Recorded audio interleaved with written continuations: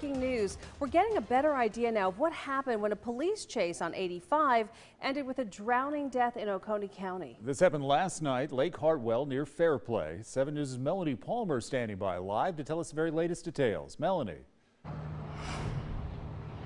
A high-speed chase spanning multiple counties and two states ending in Lake Hartwell.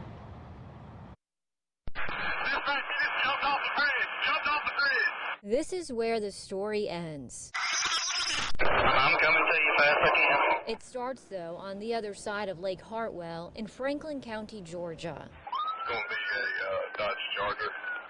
That's where deputies say they tried to pull 31 year old Akeem Lukey over on I 85 for what they clocked in as him going 125 miles per hour.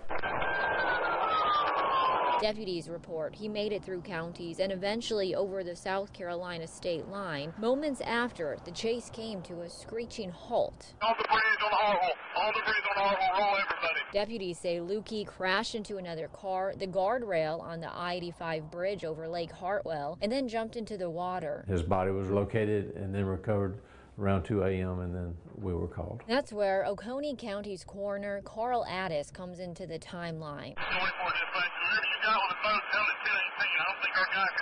He tells us deputies tried to throw a rope to Lukey when he first made the jump, but he still didn't make it. The search for answers into what unfolded is ongoing. Lukey's autopsy is scheduled for Wednesday.